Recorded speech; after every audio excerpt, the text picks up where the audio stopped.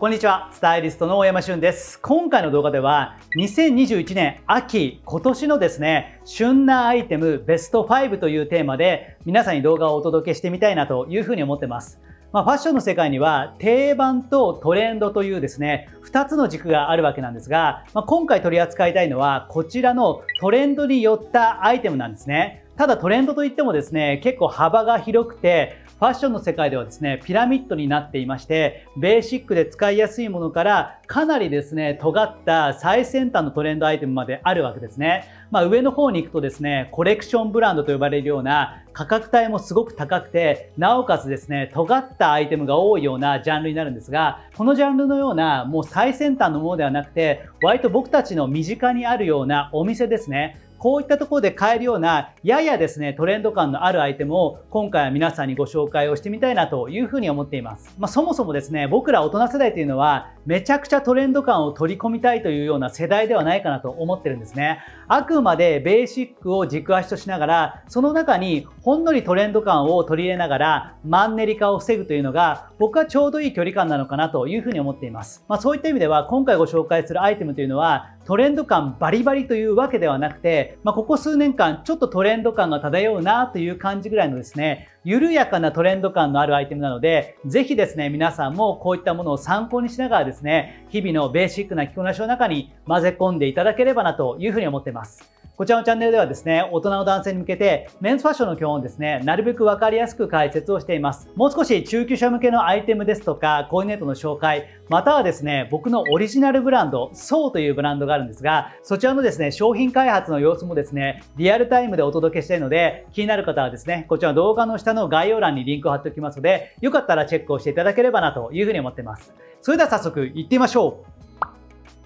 はい、ということで、ここからはですね、具体的なアイテムを皆さんに解説をしたいなと思ってるんですが、1つ目はですね、秋の羽織物ですね。まあ、この秋の羽織物といえば、定番は G ジャンだとか MA1 だとか、あとはですね、コーチジャケットだとか、このあたりがですね、定番的だとは思うんですが、まあ、ここ数年ですね、トレンド的なアイテムになっているのが、シャツアウターというジャンルなんですね。まあ、着丈は短くてシャツのような形態なんですけども通常のシャツに比べると生地が厚めになっているものなんですね。まあ、いくつかですね例を出したいなと思ってるんですが先日の動画の中で解説をしたこういったザラのシャツアウターなんかはまさにそうですね。シャツのような襟がついていて、両脇にポケットがついていて、シルエットとしてはややゆったり。こういったものがですね、トレンドアイテムとしてよく出ているんですね。他にはですね、先日僕が購入したユニクロ U のこのデニム地のですね、シャツアウター、こういったものもですね、基本のデザインは同じかなと思うんですね。まあ、こういったものがですね、2、3年前から多くなってきてるんですが、その中でもですね、ちょっと注目したいのが、今僕が着てるのはグリーンレベルの今季のですね、カバーオールなんですね。まあ、カバーオールというとカジュアルなイメージが結構強いかなと思うんですが、こういったものがシャツアウター的にですね、やや綺麗めな方向に振りながら最近は増えてるかなと思ってます。だいたい去年ぐらいからですかね、セレクトショップなんかで結構このようなカバーオールが増えてきて、今年はさらに見かける機会が増えたので、まあ、こういったちょっと大人っぽい上品な単色使いのカバーオールというのは僕はですね、バランスが良くてすごく使いやすいのかなと思ってます。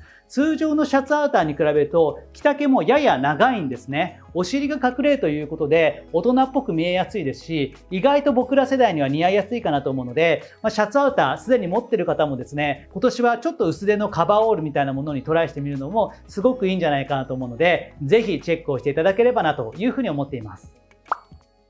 はい、ということで続いて2つ目のアイテムなんですが、今僕が着てるようなこういったレギュラーカラーと呼ばれるような割と襟を締めた時の広がりが狭い形の襟型でなおかつですね肩が落ちていて少し緩めのサイズ感こういったシャツがですねここ数年すごく増えてきてるかなというふうに思っています。今僕が着てるのはオーラリーというブランドのものなんですが、まあ、このようなブランドでも結構レギュラーカラーのシャツは多く出ているんですが割とセレクトショップのオリジナルだとかあとは先日ご紹介したユニクロ U でもですねレギュラーカラーカラーのややゆったりめのシャツというのが非常に増えてるかなというふうに思っています。まあ、かつてはですね、僕自身はレギュラーカラーというものにですね、あまり良い印象を持っていなかったんですね。まあ、特にですね、コンビニとかで売られているような安いワイシャツにレギュラーカラーがついていることが少なくなくて、どうしてもですね、安っぽかったり、あまり工夫がないように見えてしまって、かつてはイタリア系のシャツが好きだったので、襟の開きの大きいワイドカラーだとか、カッタウェイだとか、そういった襟型のものを好んで着ていたんですが、まあ、やはりですね、トレンドというのは回っていくわけですね。まあ、最近ではですね、このようなコンパクトなレギュラーカラーのシャツというのが一つのトレンドになっていて、まあ、むしろですね、おしゃれな人はどんどん積極的に着ているんですね。まあ、このような形で羽織物感覚で着てもらうのもいいかなと思いますし、あとよくですね、レギュラーカラーでやる着こなしとしては、こちらですね。まあ、第1ボタンまでをきっちりと締めて、レギュラーカラーのですね、このちょっとコンパクトな襟の雰囲気を楽しむという着方、それまたですね、ここ数年トレンド感があるような着こなしなので、ぜひ皆さんもですね、トライをしていただければなと思ってます。まあ、従来のですね、レギュラーカラーシャツのようなきちっとした感じではなくて、肩が落ちていてややゆったりめ、ここがですね、一つのテーマになるかなと思うので、ぜひこういったものをですね、まずはユニクロ U からでも構いませんし、今僕が持っているものはですね、グリーンレーベルのものですし、もうちょっと頑張って買いたい方はですね、こういったオーラリーだとか、コモリだとか、国内のブランドのものもいいかなと思うので、ぜひチェックをしていただければなと思っています。はい、続いて3点目のアイテムなんですが、僕が今着ているこちら、スウェットというアイテムですね。これがですね、ここ最近様々なショップで取り扱いが増えているのを実感しているわけですね。まあ、秋のトップスといえばいくつか選択肢があるんですが、同じような感覚のもので言うと、ニットなのか、このようなスウェットなのか、2つの選択肢があるかなと思うんですね。まあ、ニットだとですね、まあ、よく僕が動画の中でも解説しているようなユニクロのですね、こういったミラノリブのものが良かったりするんですが、非常にですね、大人っぽくて上品な雰囲気が漂うんですね。一方でスウェットになってくると生地の質感がカジュアルなのでもう少しラフで着やすいかなと思うんですね。まあもともとですね、このようなスウェットみたいなアイテムは僕ら世代だと部屋着のようなイメージがあるかなと思うんですが、最近のスウェットはですね、結構素材の質感が上品なものが増えているんですね。こちらはですね、昨年ユナイテッドアローズで購入したものなんですが、非常にですね、色だとか質感含めて大人の男性が着れるような上質なものになってるんですね。まあ、こういったものであれば、スウェットを着てもですね、そこまでカジュアルになりすぎないかなというふうに思ってます。あとはシルエットも少しゆったりめで、肩も落ちているのが特徴で、まあ、従来のスウェットと違った今っぽいアプローチのものがですね、最近は増えているんですね。まあ、色を選ぶのであれば、ブラックですとか、ネイビーですとか、今僕が着ているようなダークグレーですとか、そういった単色のものが使いやすいかなと思うんですが、ぜひ皆さんもですね、こういったスウェットというアイテムも旬なアイテムということで頭の片隅に置いていただければなと思ってます。まあ、ちなみにですね、このようなスウェットと同じような立ち位置のアイテムとしては、フードがついているパーカーというアイテムがあるかなと思うんですね。これまたここ数年はですね、トレンドからもう徐々に定番化しているようなもうマストアイテムかなと思うんですが、やはりフードがついているかついてないかでだいぶ印象が変わるんですね。まあ、単体で着る場合は正直ですね、僕はパーカーの方がちゃんとこうフードがついてる分ですね、バランスが良くて様になりやすいかなと思うんですが、意外とですね、このようなスウェットというのは重ね着の時に便利だったりするんですね。まあ、この上にナイロンジャケットだとかマウンテンパーカーを着てみるっていうのもいいかなと思いますし、あとは冬用のですね、ロング丈のコートを着る場合にも、フードがついてるとですね、やや邪魔になったりすることがあるので、そういった点ではですね、このようなスウェットが意外と使いやすいかなと思うので、ぜひですね、ニット派の方だとか、パーカー派の方もですね、今年ですね、ちょっと旬なアイテムとして、このようなスウェットというところにもですね、トライをしていただければなというふうに思っています。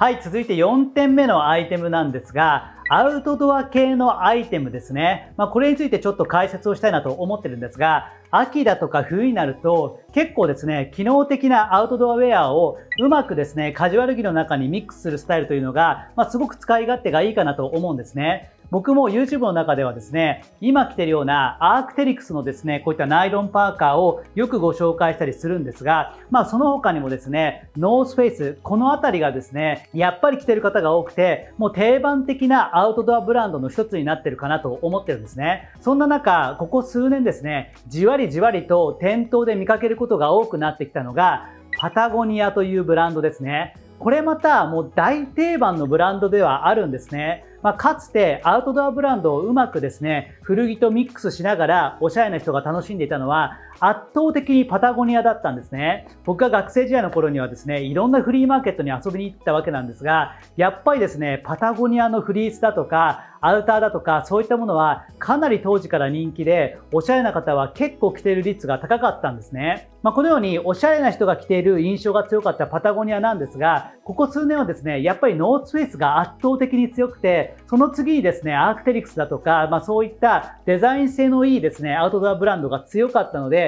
そこまで名前を聞くことが多くはなかったんですがここ1、2年ですねパタゴニア改めてですね再評価されていて着てる方増えてきてるんじゃないのかなというふうに思っていますま。あ、残念ながらですね、僕の手元には今、パタゴニアのアイテムは一点もなくてですね、着用することができないんですが、今年はですね、まずは定番のですね、フリースからデビューをしてみたいなというふうに思っています。明日はですね、いろんなショップを回ってみたいなと思ってるんですが、フリースにもですね、いくつか種類があるので、試着をしながらですね、ベストだなと思うものを購入して、また皆さんにもご紹介をしたいなと思ってるんですが、ここ数年のスポーツミックスの着こなしの中でも、パタゴニアがだんだん熱くなっているというところはですね、ぜひ皆さんも頭の片隅に置いていただければなと思っています。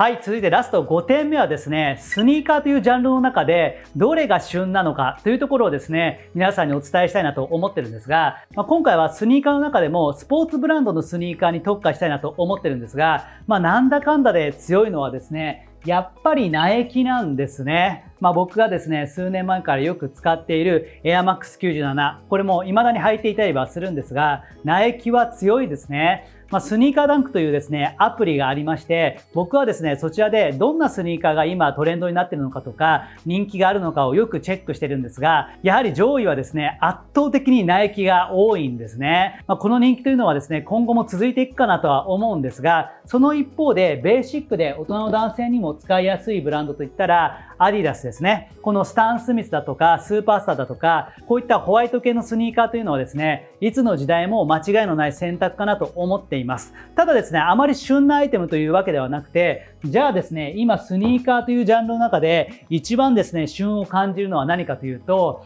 まあこれですね。まあ、ニューバランスですね。結構ですね、僕もこの1、2年でニューバランスのスニーカー買いましたね。しばらくですね、ニューバランス僕は着用する機会がなかったんですね。ちょっと気分じゃないなと思っていて、数年間はお休みをしましたが、ここ1、2年はですね、すごい勢いを感じていて、まあ、いろんなブランドとのコラボレーションもしてますし、あとはかつての名作を復活させたいだとか、本当にですね、ニューバランスの旬をビシビシと感じているわけですね。ちょっと人気のものになるとプレミア価格なんかもついたりするので、まあ、それぐらいですね、ニューバランスのブームが久々にですね、再来してきてるのかなというふうに思ってます。まあ、何度かですね、僕の動画中でもニューバランスについて触れたかなと思うんですが、まあ、正直ですね、ナイキのスニーカーのシャープさだとか、アディダスのスニーカーのもう定番で使いやすいデザインだとか、そういったものと比べると、ニューバランスのデザインっていうのは、めちゃくちゃですね、レトロでダサかっこいい雰囲気なんですね。ですので、万人受けするようなものではないかなと思うんですが、この雰囲気がですね、最近のややゆったりめのシルエットにもすごく相性が良かったりするので、まあ、個人的にもですね、ニューバランスは今すごく熱いんじゃないのかなというふうに思ってます。ただ、ニューバランスのスニーカーって一つだけデメリットがあって、高いんですよ。もちろんですね、ABC マートさんとかでも気軽にですね、買えるようなニューバランスのスニーカーたくさんあるんですが、いわゆるですね、おしゃれな人がよく履いてるようなニューバランスというのは3万円前前後するんですね。ここがなかなかですね、ハードルが高かったりするんですが、足元にちょっと旬な雰囲気を出したいのであれば、ニューバランスを出さかっこよさというところは一つキーワードになるかなと思うので、ぜひチェックをしていただければなというふうに思っています。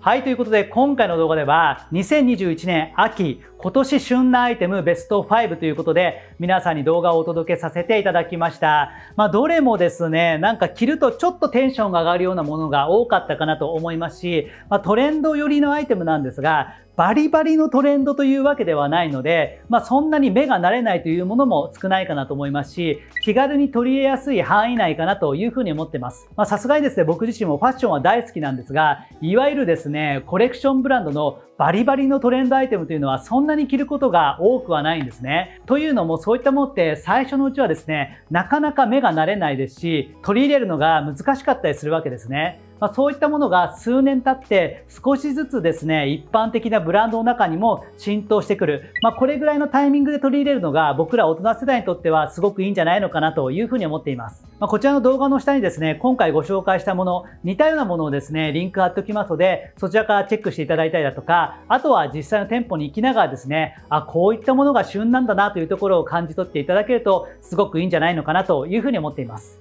これからもこちらのチャンネルでは大人の男性に向けてメンズファッションの今日をですね、なるべくわかりやすく解説したいなと思ってますので、よかったらチャンネル登録の方もよろしくお願いします。以上、スタイリストの大山俊でした。また次回の動画もお楽しみに。